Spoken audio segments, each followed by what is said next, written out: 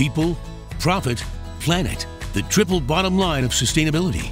The 2017 Henry Bellmon Quality of Life for All Award, recognizing excellence and honoring people, goes to the Pencil Box. The Pencil Box is a free store for teachers to provide school supplies for disadvantaged students and to equalize the classroom experience for all students. Here, teachers come and select items, uh, school supplies, specific to the needs of their individual students and the classroom activities. We focus on schools and students um, that are at the 70% low income and poverty level. We bring sustainability in by reusing and repurposing donated items. I'd say about 80% of our inventory is donated through local businesses, individuals, teachers retiring. In Tulsa County, over 61% of the students are living at or below the poverty level. Within Tulsa Public Schools alone, over 80% are living at the poverty level. Families struggling to make ends meet can't afford school supplies. And so teachers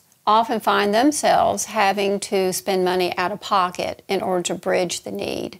So here at the Pencil Box, we're providing the supplies that the students need for successful learning and that the teachers need in order to be able to do their jobs. Teachers come in here, they get classroom sets of pencils, colored pencils, notebook paper, spirals, anything that core supply need for a student. They're able to come. They're also able to come as often as they like throughout the school year. We utilize a point of sale inventory data system. Everything that comes into the warehouse is inventoried. Everything that leaves the store is tracked.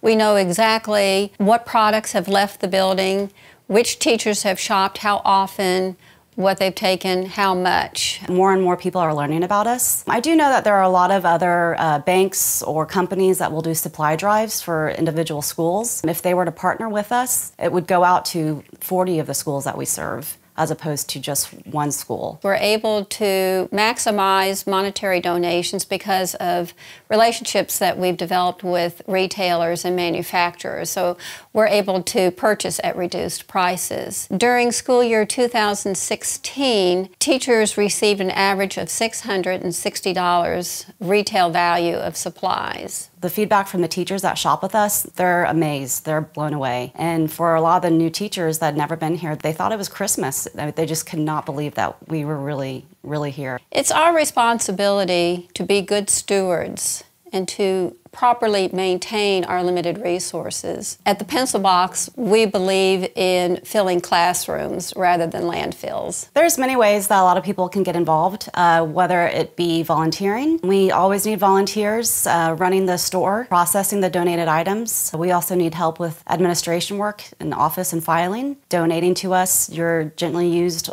uh, books, school supplies, office supplies, or just being a voice in the community and sharing our organization and our mission to other people in the community. This award is special because it reflects the fact that each of us is doing what we can to leave this earth a better place by reusing and repurposing supplies for successful learning. That's a, a special lineage.